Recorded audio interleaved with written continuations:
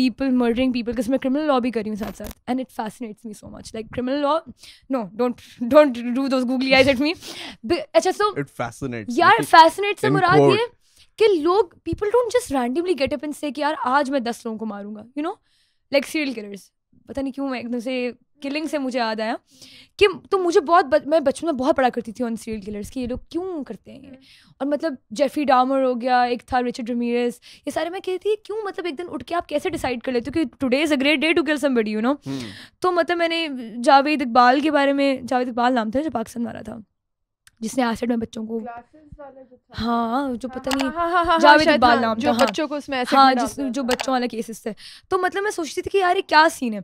Then this is why also really like law and I really want get into like criminal law मतलब पाकिस्तान में थोड़ा डर लगता है पता नहीं लेकिन क्या नाम है but like you know I really want pursue it because मैं भी कुछ दिन पहले केस पढ़ी थी कि um, एक होता है बैटर्ड वुमेन सिंड्रोम जहाँ पे um, एक औरत अगर डोमेस्टिक वायलेंट लाइक एक डोमेस्टिक वायलेंस वाली रिलेशनशिप में हो और दूसरा बंदा उसके, उसको मार रहा हो हर दिन if she even premeditates a murder and kills him उस पर इतना सेंटेंस नहीं होगा औरत पे।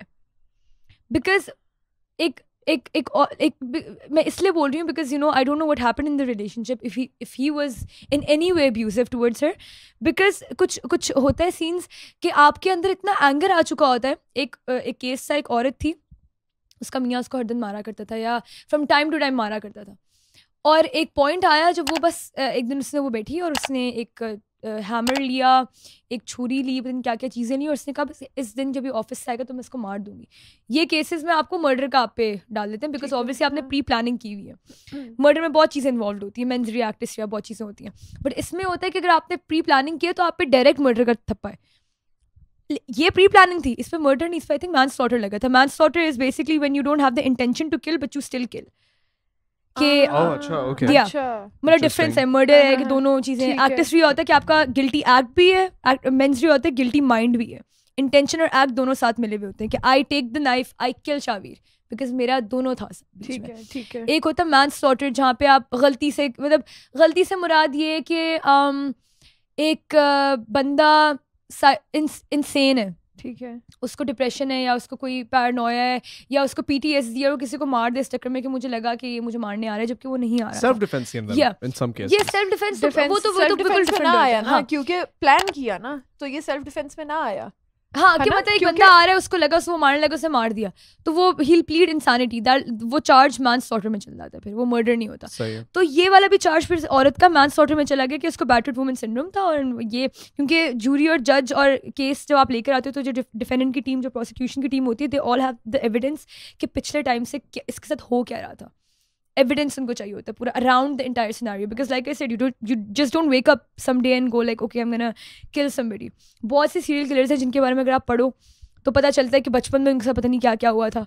या in the case of Richard Ramirez बचपन में उसके जो अंकल थे वो कोई वॉर कोई आर्मी में कोई थे और वॉर पे गए थे और he showed him pictures of how he killed people God. And like उसकी फैमिली बहुत अजीब थी तो लाइक वो बड़े होकर ये बन गया। Hmm.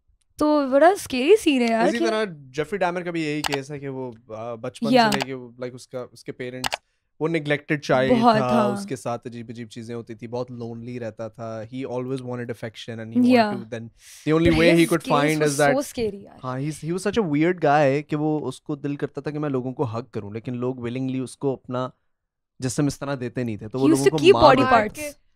वो मार के बॉडी पार्ट्स रखता था और they stay with them forever हाँ तो उसकी ये अंदर। इसी तरह there was Jack the Ripper he was never caught हाँ ही वाज नेवर कॉट या लंदन में हुआ करता था। He he was like a prostitute killer right was that a prostitute जो प्रोस्टिट्यूशन जो जो लड़कियाँ करती थी लंदन के अंदर वो उनको जाके बस मार देता था। या and he was never caught imagine और वो वो कोड जो पता नहीं कौन से कोड्स होते हैं मॉर्स कोड्स आई थिंक उसमें लेटर्स लिखा करता था वो लोग बेचारे डिसाइफर करते ही रह गए अब तो मर हम्म। वर भी गया होगा लेकिन वो पकड़ ही- पकड़ा ही नहीं गया Hey guys, you're watching the Honest Hour Clips channel. Make sure that you subscribe to this channel. और अगर आप लोगों को ये ओरिजिनल पॉडकास्ट देखनी है तो find the link in the description.